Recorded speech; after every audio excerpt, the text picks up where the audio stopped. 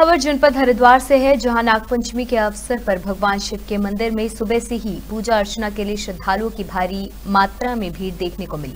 बता दें, ऐसी मान्यता है कि आज के दिन शिव मंदिरों में जाकर नाग नागिन की पूजा अर्चना करने के साल काल सर्प दोष का निवारण होता है। इसी को लेकर ज्वालापुर स्थित नाग देवता के मंदिर में नाग पंचमी पर श्रद्धालुओं की भारी भीड़ देखने को मिली।